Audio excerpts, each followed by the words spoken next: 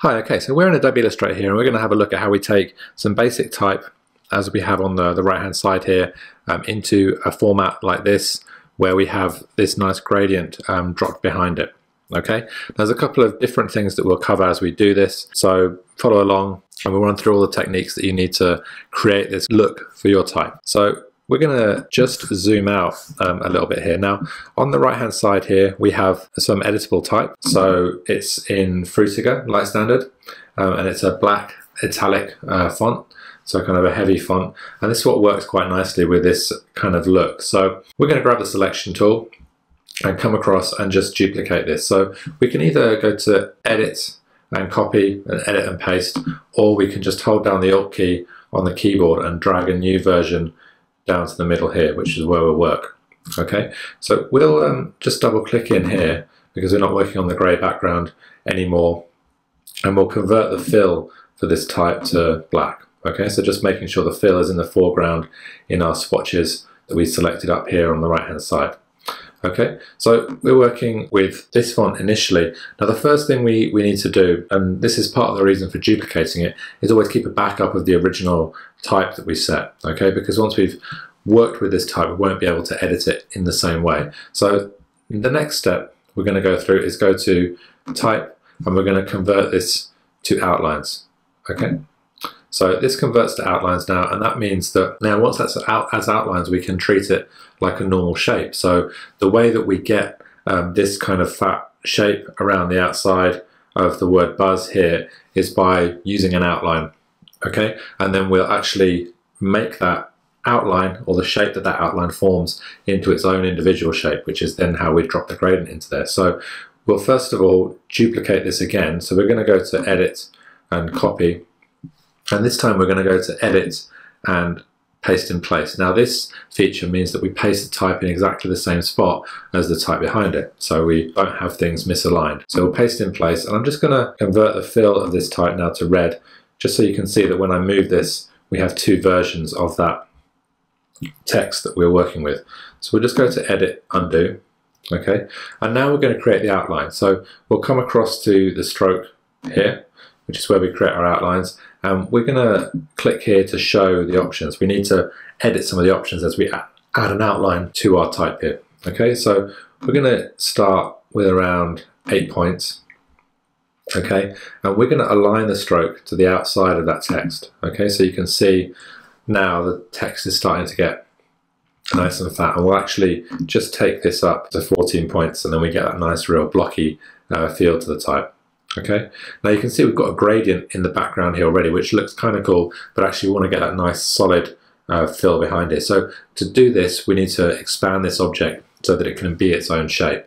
So if we go to Object, Expand Appearance, okay, you can see now we've turned that outline um, into a shape itself. Okay, now what we want to do is actually take all those different shapes. So if we zoom in here, we can kind of get a better idea of what's going on. So we've made our type, we've outlined it, added a stroke to that shape, so it's those letters that are now shapes, and then we've converted that to a shape as well. We want to make this all into one whole shape. We're going to use the Pathfinder tool for that. Okay. Now, if you've not used the Pathfinder tool before, then it's a really cool tool. It gives you a lot of flexibility to do some different things in Illustrator, and it's one of the tools that you can really get creative with when you're working with your designs in Illustrator. So we're going to go to Window, scroll down, and look for the pathfinder here. Okay, so this is how we um, add shapes together, subtract things from shapes, and that kind of stuff.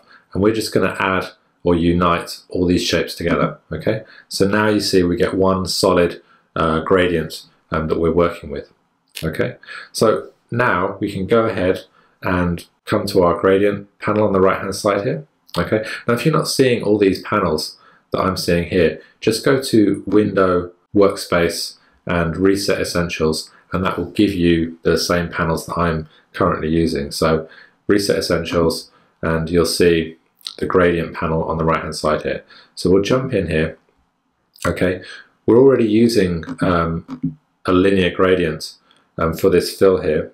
Okay, so we're going to jump down here and just use this orange to yellow gradient. Okay, now once we have a gradient set up, we can go in and we can actually edit uh, the kind of flow of the gradient. So you can see we're going from a yellow to a darker orange and orange on the right hand side here, if we double click on these little sliders, we can edit the gradient. Okay, so we can change it so we have an orange tint on the left hand side here and so on and so forth. We could also pull off um, parts of our gradient here, okay, and drag these around so that it changes the, the kind of flow of the look and feel of the gradient, okay.